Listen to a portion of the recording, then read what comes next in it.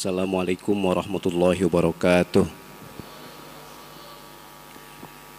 Bismillahirrahmanirrahim. Alhamdulillahirabbil alamin. Wa afdhalus salati wa atamu taslimi ala sayyidina wa maulana Muhammadin khatamil anbiya'i wal mursalin wa ala alihi wa sahbihi ajma'in. Subhanaka la ilma lana illa ma 'allamtana innaka antal alimul hakim. Rabbi shrah li sadri wa yassir li amri wahlul 'uqdatam min lisani yafqahu qawli. Wala haula wala quwata illa billahil aliyil azim. Amma ba'du. Hadirin Bapak-bapak, saudara-saudara, ibu-ibu, jamaah Masjid Jami Darul Ilmi yang berbahagia. Pertama dan utama marilah kita syukuri nikmat-nikmat Allah yang telah banyak dan sangat banyak dilimpahkan kepada kita. Baik nikmat dalam bentuk zohir maupun nikmat dalam bentuk batin. Dengan harapan dan doa kita dengan selalu dan pandai bersyukur kepada Allah senantiasa Allah limpahkan taufik hidayahnya kepada kita sehingga semua kenikmatan itu dapat kita pergunakan dengan sebaik-baiknya dalam rangka beribadah kepada Allah Subhanahu wa taala. Salawat serta salam semoga tetap tercurahkan kehadiran junjungan kita Nabi besar Muhammad sallallahu alaihi wasallam. Bapak Saudara yang kami muliakan, kita teruskan kajian kita di dalam Kitabul Maram. Hadis selanjutnya wa an abi mas'ud radhiyallahu anhu qala qala Bashir bin Sa'ad ya Rasulullah amarana Allah an nusalli alaik fa kaifa nusalli alaik? Fasakata thumma qala Qulu Allahumma salli ala Muhammad wa ala ali Muhammad kama sallaita ala Ibrahim wa barik ala Muhammad wa ala ali Muhammad kama barakta ala Ibrahim fil alamin innaka Hamidum Majid. Rawahu Muslimun. Bapak-bapak, saudara-saudara, hadis ini datangnya dari sahabat Nabi yang bernama Abu Mas'ud. Nanti ada sedikit beda nih, nama sahabat ada namanya Abu Mas'ud, ada namanya Ibnu Mas'ud. Ya, itu beda jauh. Untuk lebih memudahkan gini, kalau sahabat Ibnu Mas'ud itu sahabat yang pertama kali membaca Al-Quran dengan suara keras.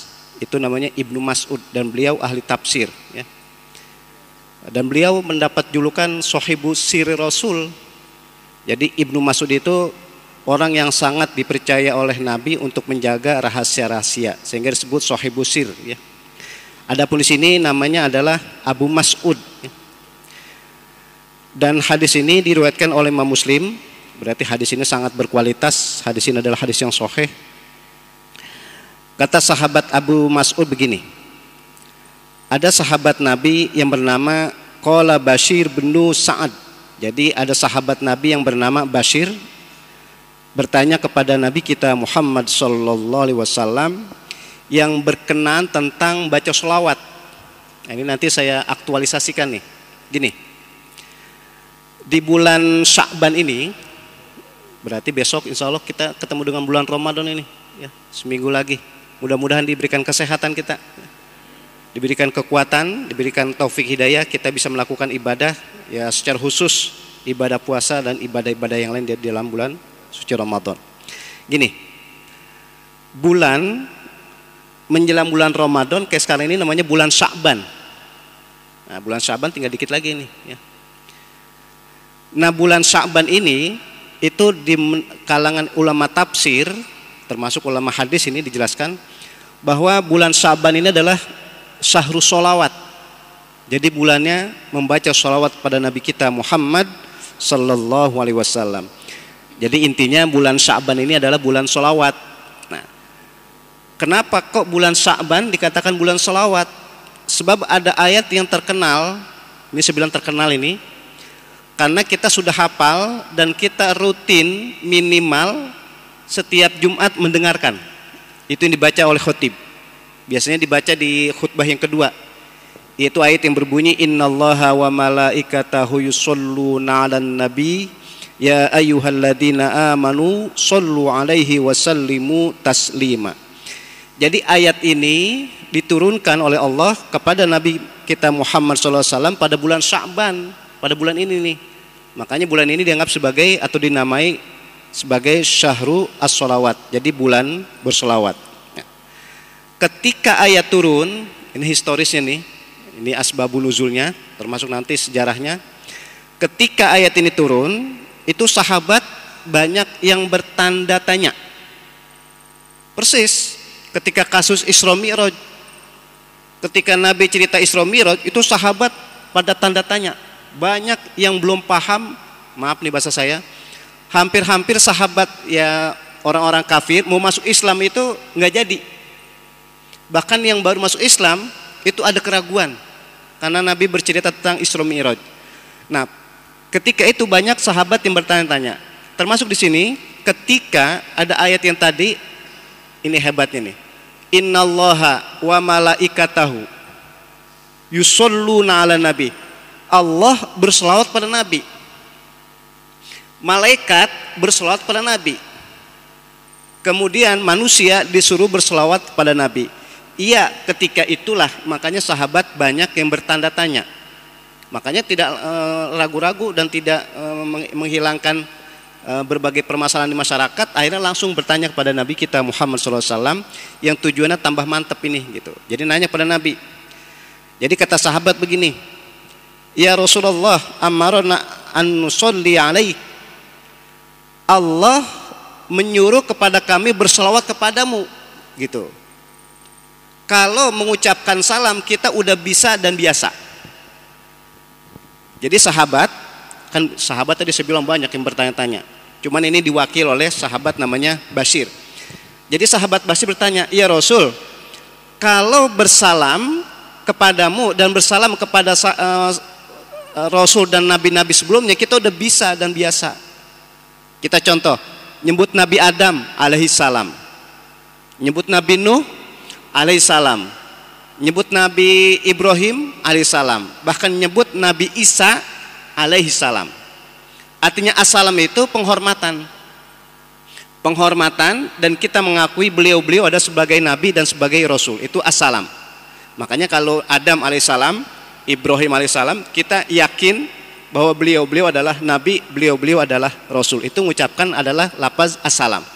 Tapi yang ditanya oleh sahabat bukan mengucapin salam. Kata sahabat, kalau mengucapkan salam kita udah bisa dan biasa. Cuman masalahnya bagaimana bersolawat eh, bersolawat kepadamu ya Rasul. Sebab ayatnya kan perintahnya solawat. Solu bersolawatlah. Itu yang ditanya oleh sahabat. Ya Rasul, Allah memerintahkan kepada kami untuk membaca atau berselawat kepadamu. Bagaimana berselawat kepadamu? Ketika Nabi ditanya oleh sahabat bagaimana berselawat kepadamu, ini hebat nih. Ketawaduan Rasulullah SAW, kerendah hatian Rasul itu tampak, timbul. Jadi kalau bahasa kita begini, ya Rasul, bagaimana kalau kami mengucapkan selawat padamu? Nabi nggak bilang begini, berselawatlah kepadaku menyebut dengan Sayyidina. Dengan Habibina, maksudnya tuanku gitu ya. Sayyidina itu tuanku, Habibina kekasihku. Bahkan kalau sekarang itu eh, sekarang ini bukan Habibina aja. Bukannya Sayyidina aja ditambahkan.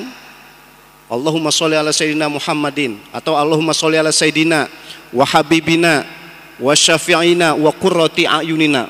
Banyak ditambahkan itu. Nah, redaksional hadis yang sahih ini yang tadi diriwayatkan oleh Imam Muslim, ketika Nabi ditanya bagaimana berselawat padamu, yang tadi saya bilang, Nabi tampak timbullah ketawaduan beliau. Kata Nabi begini, bacalah berselawat padaku Allahumma sholli ala Muhammad. Hebat. Redaksionalnya langsung nama beliau. Nabi nggak bilang begini, berselawatlah kepadaku Allahumma sholli ala Sayyidina atau berselawatlah kepada uh, kepadaku Allahumma sholli ala habibina. Enggak Nabi enggak bilang begitu. Akan tapi Nabi langsung bilang Allahumma sholli ala Muhammad. Langsung menyebut nama beliau. Yang menarik bahwa Bapak saudara-saudara ini tadi saya bilang ketawaduan kerendah hatian beliau ini mendidik kita. Mendidik kita kita jangan takabur kita jangan sombong. Nah, Oleh karena itu, ini patokan sampai sekarang. Kalau ada kawan-kawan kita umat Islam kalau membaca sholawat berpatokan kepada hadis ini, ini benar. Ya banyak sampai sekarang umat Islam kalau baca sholawat Allahumma sholli ala Muhammad aja. Karena apa patokan hadis ini dan ini autentik, hadis soheh, benar dan betul bahasanya begitu. Lah sekarang bagaimana kalau kawan-kawan kita, termasuk kita, termasuk saya lebih cenderung itu kalau baca sholawat ditambahkan Sayyidina. Allahumma sholli ala Sayyidina.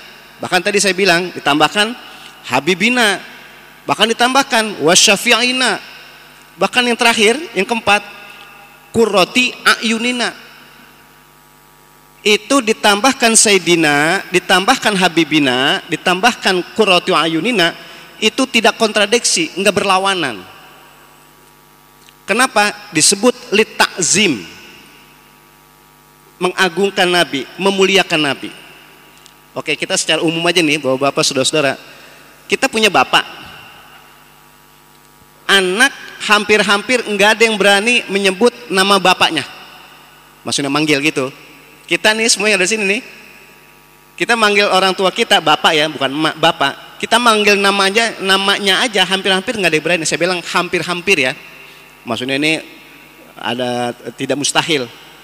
Jadi ada anak manggil bapaknya, enggak ada yang berani manggil namanya. Pasti dipanggil suatu julukan yang baik. Ya kayak kita dah. Kita manggil bapak kita, namanya nggak ada yang berani. Pasti kita kasih julukan yang baik. Entah bapak manggilnya, wahai bapak, wahai ayah, wahai abi, wahai apa lagi? Papi gitu ya. Padahal nama bapak kita ada, tapi kita panggil yang baik tadi. Bahasa mudahnya begini, kita manggil nama bapak kita aja kita nggak berani. Bukan karena takut diomelin, bukan, karena takut dimarahin, karena kita mentakzimkan, kita memuliakan, menghormati bapak kita. Manggil bapak kita aja kita nggak berani namanya, apalagi khairul khalqi, makhluk yang paling mulia, makhluk yang paling baik yaitu junjungan kita Nabi besar Muhammad sallallahu alaihi wasallam makanya kita manggil beliau itu jangan langsung namanya. Kita panggil dulu tadi Allahumma sholli ala sayyidina wa habibina. Itu tadi yang saya maksud. Berarti guru-guru kita ulama-ulama kita terutama dalam kitab ini kitab Bulughul Maram yang dikarang oleh Imam, Imam Ibnu Hajar al Asqalani dan beliau ini Syafi'il Madhab yang bermazhab Syafi'i. Jadi kita bersolat pada Nabi itu sangat-sangat dianjurkan itu li ta'zim. Jadi ditambahkan Sayyidina Wahabibina. Ya seperti kayak sekarang ini ya.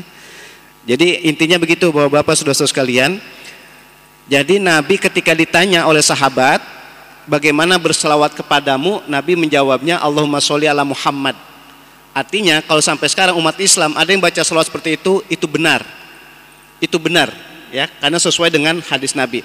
Tapi andai kata kita ini membaca sholat pada Nabi ditambahkan Sayyidina wa Habibina itu bukan berarti salah. Itu justru benar plus takzim.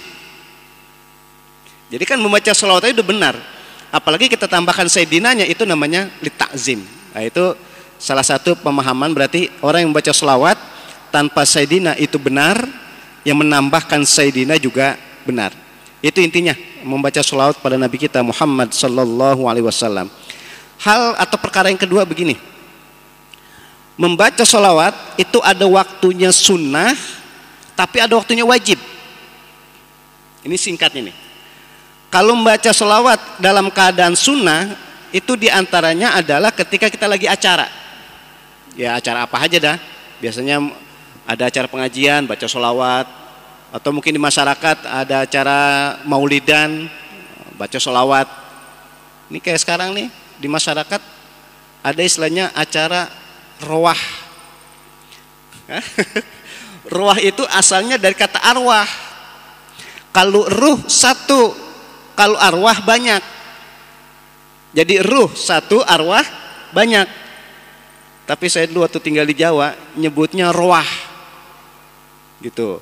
Di Betawi ditambahin dikit an jadi Roahan. Nah, orang Betawi emang kadang-kadang begitu. Suka nambah-nambahin aja. Mulud, muludan. Roah, roahan. Sampai malam Jumat baca Yasin, yasinan. Yang saya maksudkan tadi itu ketika di uh, penghujung bulan Syaban ini memang banyak acara bersilaturahim. Anak orang tua yang hidup pada yang hidup, bahkan yang hidup pada yang mati, itu sangat dianjurkan bersilaturahim. Artinya saling doa, mendoakan. Nah yang saya maksudkan tadi, jadi ada baca sholawat itu hukumnya sunnah, gitu. Tapi yang akan kita teruskan di sini ada membaca sholawat itu jadi wajib. Kapan dan siapa yang membaca sholawat jadi wajib? Yang saya contohkan satu, kita ini lagi sholat. Kita sholat wajib maupun sholat sunat wajib membaca sholawat. Ketika apa? Ketika tahiyat. Bapak-bapak, saudara-saudara, tadi kita sholat zuhur dipimpin oleh Ustadz kita, Ustadz Agustiar. Kan kita dua kali tahiyat. Kalau tahiyat nyebutnya boleh tasyahud ya.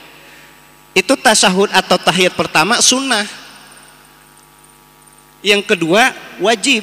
Maka andai kata ada orang sholat zohor empat rakaat tahiyatnya sekali sah karena yang yang pertama itu sunnah yang saya maksud begini tahiyat mau pertama atau yang kedua tapi membaca sholawat tetap wajib gitu.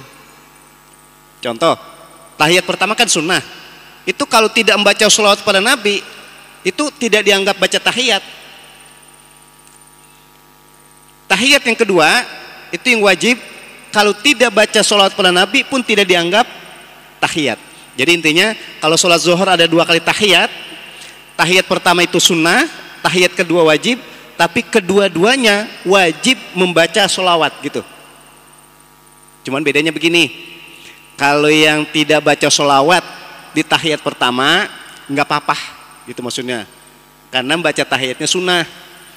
Tapi kalau yang tahiyat kedua, yang terakhir menjelang salam, kalau nggak baca sholawat sholatnya tidak dianggap sah itu bedanya ya kan cari muncul eman-eman sayang-sayang nah, makanya tadi membaca sholawat itu ada waktunya sunnah ada waktunya wajib gitu. Nah itu tadi saya maksud kita semua nih lagi sholat sunnah maupun sholat wajib itu ketika tahiyat wajib bersolawat. Siapa selain ketika kita lagi sholat? Khotib. Cuman masalahnya bapak-bapak saudara-saudara kita kalau mendengarkan khutbah Jumat itu kadang-kadang kita sebelum ke masjid makan dulu. Kalau habis makan ujung-ujungnya kenyang. Masuk ke masjid Darul Ilmi, kena AC. Ujung-ujungnya ngantuk. Habis ngantuk tidur. Khotbah disampaikan itu kadang-kadang ada yang kelupaan. Saya bilangnya kelupaan ya, bukan sengaja. Saya husnuzon, saya positive thinking. Kalau khotib itu nggak baca sholawat, nggak sah khutbahnya kalau nggak sah khutbahnya otomatis Jumatannya pun nggak sah. Cuman masalahnya kadang-kadang kita kalau mendengarkan khutbah itu kita nggak perhatiin. Itu kalau khotib nggak baca sholawat nggak sah. Jadi bahasanya boleh kita interupsi itu. Ada khotib nih menyampaikan khutbah, dia nggak baca sholawat. Maaf Pak Ustadz interupsi, kenapa? Nggak baca sholawat. Atau tidak bertahmid, Cuman kan kita udah still yakin aja kan. kalau khotib menyampaikan udah pasti semua terpenuhi rukun-rukunnya, kita still yakin aja. Padahal tadi saya bilang kalau lupa, ini bukan yang sengaja ya. Kalau sengaja udah jelas-jelas nggak sah, lupa aja dah. Khotib nggak menyampaikan sholawat, selesai uh, sholat, assalamualaikum warahmatullah, assalamualaikum warahmatullah. Terus ada jamaah bilang begini, Pak Khotib, Pak Ustadz Khotib, tadi waktu lagi menyampaikan khutbah, saya ingat tidak menyampaikan sholawat itu kalau memang dibenarkan ucapan dia, maka tadi Jumatan nggak sah. Itu saking pentingnya berarti membaca sholawat ada waktunya wajib. Kapan dan siapa? Itu adalah ketika khotib sedang menyampaikan khutbahnya gitu. Ya persis ketika kita sholat tadi, kita sholat mau jamaah maupun sendiri, mau imam maupun makmum, kalau tidak baca sholawat ketika tahiyat, ya terutama tahiyat yang akhir, yang kedua, itu dianggap tidak sah sholat kita gitu. Ini kembali bahwa bapak sudah sudah kajian dalam hadis ini, ini yang kedua adalah berarti sholawat itu saking pentingnya ada yang sunnah, ada yang wajib. Yang terakhir, yang ketiga, hikmatnya apa sholawat? Gini, kita ketika baca sholawat itu kan artinya mendoakan. Jadi sholawat itu artinya mendoakan. Lo pakai logika kita, Ini bahasa orang saya, bahasa Betawi nih. Ngapain kita doain Nabi? Kan maksudnya sholat kan doain. Ini bahasa bahasa pikiran kita yang rendah nih. Ngapain kita doain Nabi? Nabi kita Muhammad SAW itu udah pasti masuk surga. Bahkan beliau menjamin 10 sahabatnya masuk surga. Apa kepentingannya? Apa perlunya? Apa faedahnya kita doain Nabi? Ternyata ungkapan ini, kata-kata bersolat pada Nabi itu oleh para ulama dibilang berdasarkan hadis man sholla alayya sholatan sallallahu alaihi biha asyra kesimpulan yang begini. Kita baca sholat pada Nabi kita doain pada Nabi itu manfaatnya bukan untuk Nabi. Akan tetapi sholawat itu manfaatnya kembali kepada yang baca. Gitu. Berarti manfaatnya buat kita. Oleh karena itu ada kitab yang menarik ya kitab ini namanya Tanwirul Kulub orang baca sholawat itu dianalogiin dikiaskan seperti orang megang senter diarahkan ke kaca kan di belakang kita ada kaca nih. Atau di mana aja dah. Kita pegang senter. Senter itu kita nyalain dan kita arahkan ke kaca. Pasti sinarnya mantul. Berbalik ke kita. Jadi itu analogi yang hebat yang indah ilustrasinya. Berarti orang baca selawat orang ngedoain nabi bukan manfaat buat nabi. Akan tapi bermanfaat buat dirinya. Semakin banyak dia baca selawat maka semakin banyak juga anugerah Allah memberikan rahmat kepada orang yang baca selawat itu tadi makanya baca sholawat itu ada waktunya sunnah, ada waktunya wajib. Jadi yang tadi saya bilang hikmatnya nih, yang terakhir, yang ketiga. Jadi baca sholawat itu manfaatnya bukan buat Nabi, akan tapi buat kita. Itu disebut namanya man sholla alayya sholatan sallallahu alaihi biha asyro. Sekali aja orang baca sholawat, maka Allah akan memberikan rahmat. Membaca, memberikan rahmat kepada orang yang bersolawat sebanyak 10 kali. Itu intinya. Baik, bapak-bapak, saudara-saudara sekalian, Eh, dari hadis ini saya coba simpulkan bahwa yang namanya membaca surat pada Nabi kalau ngikutin hadisnya itu memang tanpa sayyidina. Berarti kalau ada yang baca salawat tanpa sayyidina itu benar. Tapi kalau ditambahkan sayyidina, habibina itu namanya li ta'zim. Itu benar dan plus ya bahasanya. Uh, yang kedua, baca salawat itu ada yang sunnah tapi ada yang wajib tadi ya. Nah, yang ketiga, hikmatnya.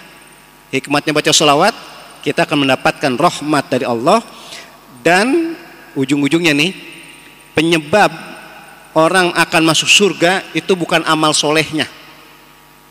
Dalam hadis Nabi diperjelas. Bahkan Nabi bilang begitu, orang masuk surga itu bukan karena amal solehnya, akan tapi karena rahmat dari Allah. Kalau amal soleh, kalau amal ibadah, Masya Allah bapak-bapak, saudara-saudara, kita enggak ada yang sempurna kita ibadah nggak ada yang sempurna. Tapi kan ada rahmat dari Allah, ketidaksempurnaan ibadah kita itu akan disempurnakan. Persis ketika kita baca Al-Quran, dalam Al-Quran dibilang Al-Quran itu syifa wa rahmah. Yang dimaksud syifa wa rahmah itu rahmah orang membaca Al-Quran. Kalau dia membaca Al-Quran ada ketidaksempurnaan, tajwidnya kurang bagus, makhrajnya kurang jelas, tapi karena memang udah dia belajar udah dari segitu segitunya udah itu dapat rahmat dari Allah. Artinya rahmat apa? Tetap dapat pahala.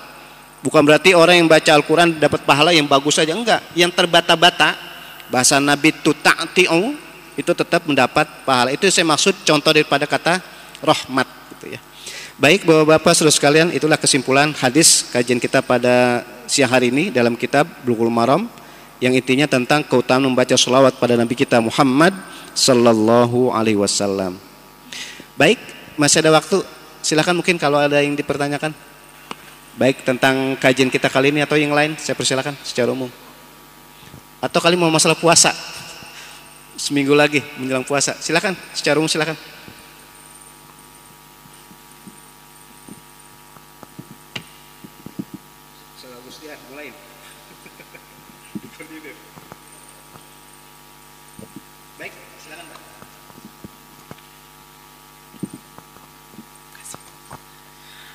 Assalamualaikum warahmatullahi wabarakatuh. Uh, gini Ustadz, uh, tadi seperti Ustadz bilang bahwa siapa yang berselawat satu kali bahwa Allah akan memberikan rahmat sepuluh kebaikan. Yang saya mau saya tanyakan tuh kan banyak katanya harus sering memperbanyak selawat gitu kan. Yang selawat seperti apa Ustadz yang baik selain tadi yang Ustadz sampaikan atau ada juga kalimat yang boleh juga berselawat dengan mengucapkan sallallahu alaihi Muhammad itu apa tetap sama mendapatkan 10 kebaikan juga Ustaz. Assalamualaikum warahmatullahi wabarakatuh. Waalaikumsalam. Menariknya tadi itu baca solawat itu redaksi yang asli dari Nabi ajari itu tadi Allahumma sholli ala Muhammad itu aslinya udah tapi kalau kita mau tambahkan itu tadi saya bilang benar plus maksudnya benar seperti Allahumma sholli ala Sayyidina Muhammad artinya benar. Nabi ngajarin seperti itu. Kemudian kita tambahkan Sayyidina Habibina itu namanya li ta'zim jadi plusnya karena takzimnya kita karena kita memuliakan Nabi kita Muhammad Sallallahu Alaihi Wasallam. Jadi intinya baca sholawat itu redaksinya mau pakai Allahumma sholli ala Muhammad saja benar, kita mau tambahkan Sayyidina juga benar. Bahkan itu lebih lebih utama kalau bahasa ulama bilang namanya, namanya litakzim, litakrim, memuliakan dan mengagungkan. Itu boleh dengan sangat dan sangat baik. Yang menarik tadi, kalau orang baca sholat pada Nabi sekali aja Allah akan berikan rahmat. Kan itu tadi Man alaiya salatan sallallahu alaihi biha asyra. Artinya Allah berselawat itu kan Allah memberikan rahmat. Sekarang mengaplikasikan, mengartikan bagaimana kalau Allah katanya memberi rahmat pada kita. Kalau kita baca salawat pada Nabi cuma sekali. Itu tadi Allah memberikan rahmat. Artinya rahmat begini. Bahwa Bapak saudara-saudara ini termasuk saya, kita semua nih. Kita mudah ibadah sholat karena kita mendapat rahmat dari Allah kita bisa hormat sama orang tua kita itu karena kita mendapat rahmat dari Allah. Kebalikan, kita sayang sama anak kita karena kita mendapat rahmat dari Allah. Kita sayang sama keluarga kita, kita mendapatkan rahmat dari Allah. Kita besok nih, insya Allah seminggu lagi, masuk bulan Ramadan, kita konsekuen mau puasa Ramadan, berarti kita mendapat rahmat dari Allah. Jadi bahasa kesimpulan mudahnya, rahmat itu adalah Ar-Rahman Ar-Rahim. Ar-Rahman itu memberikan memberikan. Bahasanya kasih itu kan memberikan. Ar-Rahim sayang. Jadi bukan memberi aja akan tapi dibarengi dengan kasih sayang. Jadi memberi dan sayang. Persis tadi. Jadi ketika kita bersolat pada Nabi, itu Allah akan memberikan rahmat kepada kita. Artinya apa? Kita melakukan perbuatan baik apa aja, kita melakukan ibadah apa aja itu tidak merasa beban. Makanya kata ya ulama kita lah termasuk saya secara pribadi ngaji langsung dengan beliau yaitu almarhum Al-Maghfurullah Wahbah Zuhaili, ulama dari Syria. Itulah yang disebut namanya hidayah taufik. Saya pernah ungkapkan di dalam khutbah Jumat juga di sini. Jadi hidayah paling tinggi adalah hidayah taufik, hidayah persesuaian. Makanya ketika kita mudah dah, kita gampang melakukan ibadah, termasuk puasa, sholat, karena kita mendapat rahmat dari Allah. Tapi orang yang tidak akan mendapatkan rahmat dari Allah melakukan ibadah, melakukan perbuatan baik berat, sulit menjadi beban. Kalau kita kan kagak, kita enjoy aja melakukan ibadah. Besok waktunya puasa Ramadan ya kita puasa. Waktunya kita ketemu wajib sholat ya kita sholat. Pokoknya orang melakukan ibadah nggak berasa beban, nggak berasa kesulitan, itu tanda ciri khas mendapatkan rahmat kasih sayang Allah. Nah, sekarang dibalik nih cara ngaji ilmu sulfiknya mafhum mukhalafah, pemahaman kebalikan kemaksiatan apa pun padahal di depan kita gitu maksud saya kemaksiatan apa pun padahal kita potensi banget dah peluang mengerjakan tapi mampu kita tidak kerjakan kita mendapat rahmat dari Allah. Makanya nggak ada ciri khasnya orang yang terhindar dari perbuatan maksiat itu harus pinter enggak malah dibalik. Orang-orang yang bodoh itu karena faktor keyakinan agamanya kemaksiatan apa pun dia tinggalkan. Tapi kebalikan kadang bisa jadi orang yang ngerti ilmu agama orang yang kadang ilmunya pinter tinggi tapi maksiat dikerjain terus. Kenapa? Tidak ada rahmat dari Allah. Makanya menarik ini kasus ya ini perkara namanya.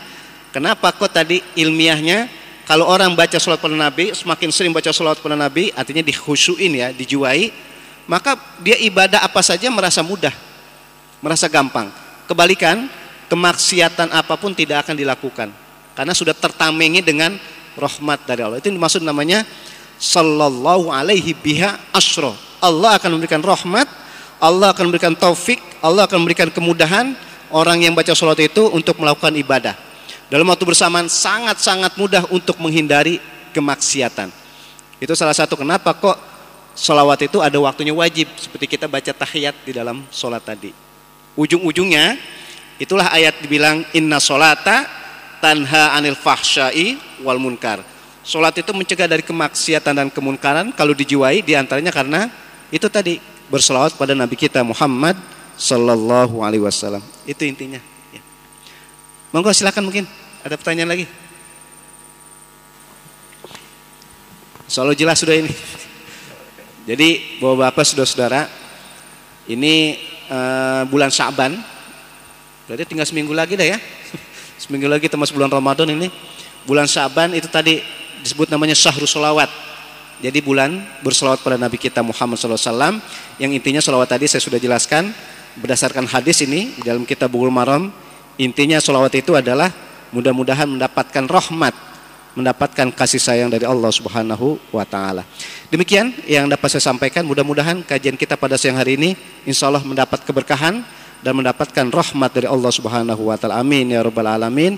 Kurang lebihnya mohon maaf. Akhirul kalam. Assalamualaikum warahmatullahi wabarakatuh.